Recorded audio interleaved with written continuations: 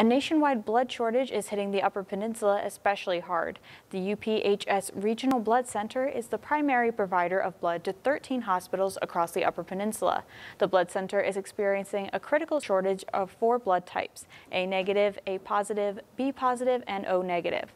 Blood collection coordinator Rachel Heath is encouraging everyone to visit their local donation center and give blood overall the nation is low on blood donors and low on blood so it's kind of hard to get blood in our UP because it is such a smaller region and we are so spread out. Donating is really important because we supply all the blood in the UP and we need to definitely get out and donate and bring our blood supply back up with accident and injury rates increasing during the winter months, the need for blood is even greater now than it usually is. Almost anyone can give blood, and the donation process is quick and easy.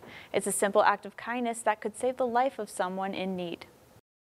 You know, it takes about a half hour out of your day from start to finish, filling out the paperwork, doing your health screen, and you just kind of get a sense of fulfillment by being able to help someone and to like give back and save a life.